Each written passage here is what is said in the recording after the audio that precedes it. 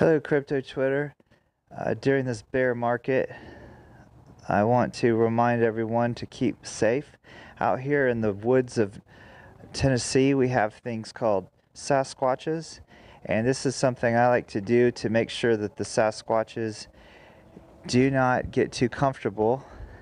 I will often do this, and this keeps them away from uh, the house. I do shit like this. Oi! Sasquatch, fuck off! That's it.